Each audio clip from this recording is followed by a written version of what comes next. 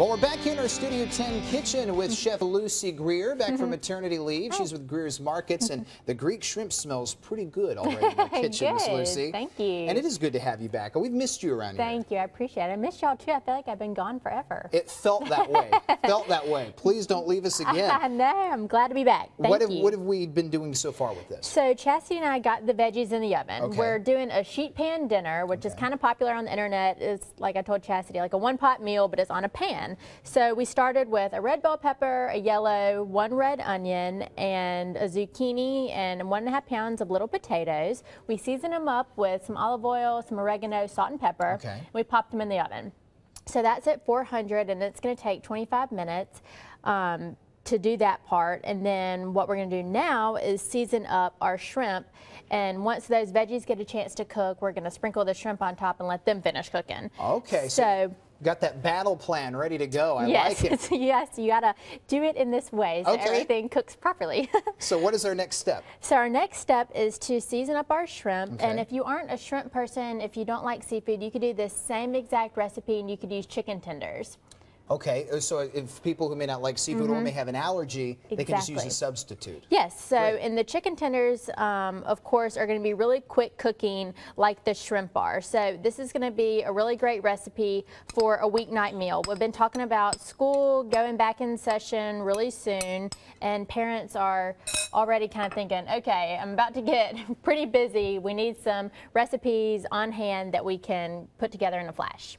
And for people who, uh, I mean, this may, if they've been living under a rock, may not have heard of Greer's Markets, Uh-huh. you guys got locations all over the place, right, Lucy? Yes, we do. We have 30 locations um, across. 30. I heard that right. Uh-huh. 30. Yeah, we have 30 across Alabama, Mississippi, and Florida. Wow. Um, two over there in Pensacola. Um, and we really, it, Joe um, always likes to say whenever he's traveling around, he sees one, he stops in. so it's like, I feel like our stores are kind of like that. You know, you're kind of just driving by, you're like, oh, there's a Greer's. That's where he's been all week. He's hiding Tell him to come back to work, please, if you see him. He's been eating in the deli at one of the Greers. Um, so our stores are, that's what we really like, you know, we um, get to reach so many people that way. Um, and we just celebrated our 100th year last year. And so we're just thankful to, to be around and we're always trying to, to come up with new ideas and improve so that way um, people want to keep shopping with us. That's fantastic.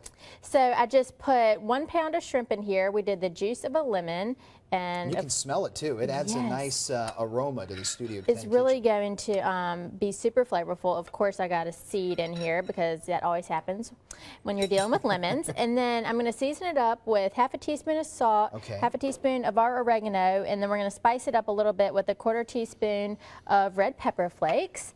And then I have a couple um, cloves of garlic here, and then we're just going to do a little touch of olive oil. And all of these ingredients can be bought at any Greer's, right? Yes, and like what we were talking about before, my new favorite thing to do at Greer's is online shop. Now that I have three kids, I have not really been traditional grocery shopping in months because all I have to do is make my order online and That's then I just drive to the store after work and they bring it out to my car and I still get to say hello to everybody because a lot of people love going in our stores because they love our people. Right. We have great people, but the great thing is you still get that interaction because one of our associates is bringing it out to your car, making sure everything's okay, and it's, it's just really great. It's just such a time saver. again?